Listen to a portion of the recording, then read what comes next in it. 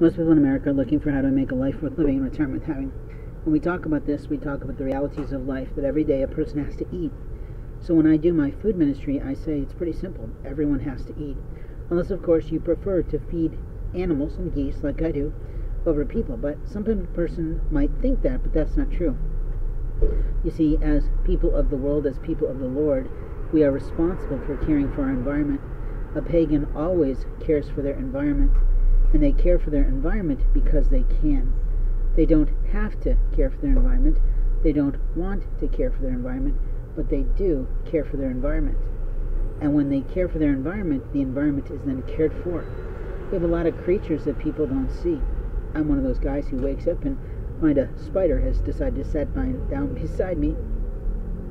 And as much as I enjoy that nursery rhyme, that nursery rhyme was to teach children to be wary of creatures that are small even a daddy long legs that little boys love to pull legs off of, which isn't very ethical in any way, should be killed because of what they can do to suck blood from a baby.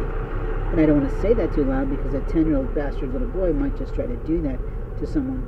And that's a lie that they tell themselves, that they had the right to do something to a little one.